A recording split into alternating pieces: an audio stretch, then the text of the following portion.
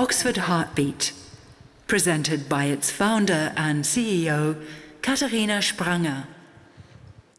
Imagine taking your car to a mechanic, and when replacing the brake pads, he can only make an educated guess as to which ones will fit. At first, he gets it wrong, so throws them away and tries the next size.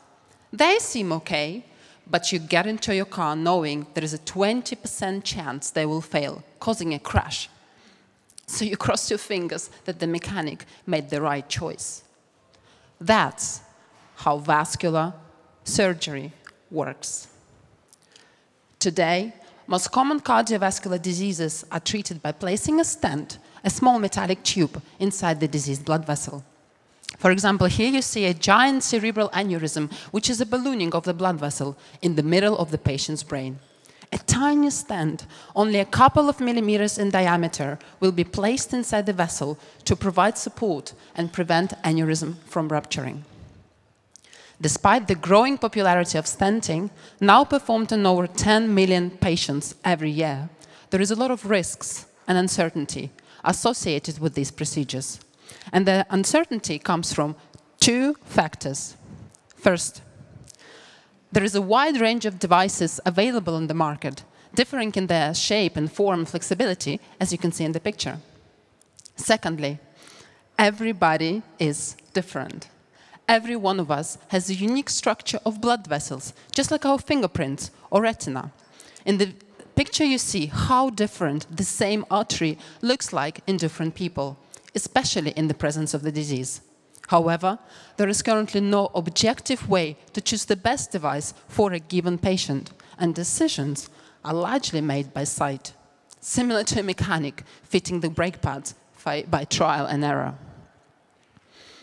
If the guesswork is wrong, patients suffer complications like stroke, resulting in every fifth patient having to undergo a second surgery for Germany, this means 10,000 extra surgeries a year, costing the healthcare system over half a billion euros. To put into perspective, this would be enough to build an entirely new hospital from scratch. I came across this problem during my PhD at Oxford in biomedical engineering. One month into the program, I went to the hospital to see a cardiovascular surgery um, for the first time as part of my training. So there I was in the operating theater it was freezing cold. The patient was already on the table, but the surgeon was still staring at the blurry black and white two-dimensional X-ray and couldn't decide which device to go for. He was visibly nervous. I mean, these are high-risk procedures.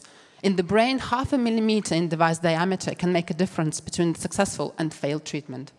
To me, coming from an engineering background, it was like observing someone still watching a silent black and white movie while knowing there is not only a possibility to experience sound and the color, but also virtual reality.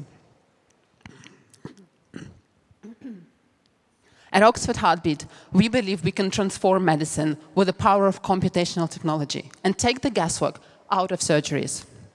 We develop unprecedented technology that helps surgeons choose the best treatment for every patient.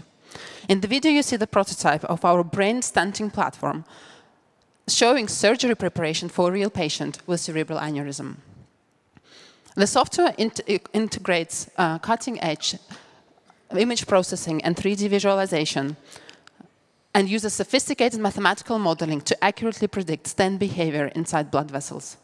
This gives surgeons crucial information that is not available at the moment. For example, that a particular stent is not going to occlude the vital blood vessel responsible for eyesight, or that it's going to land before the curve without causing a stroke.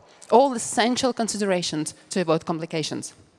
Without technology, surgeons can try out different devices at placement in, in placement positions at no risk, unlimited times, and choose the best one for a patient before going into the operating theatre.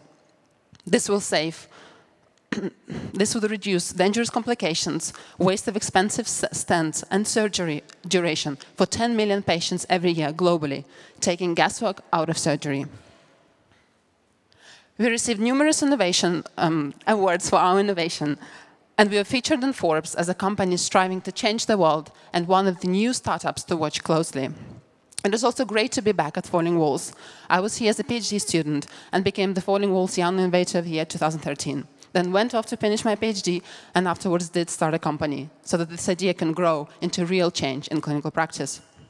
Our mission is not only to make cardiovascular surgery more accurate and safe, in all areas of stenting. But most importantly, we want to bring personalized simulations in the routine clinical practice and make medicine one of the most technologically advanced areas, like space engineering or robotics.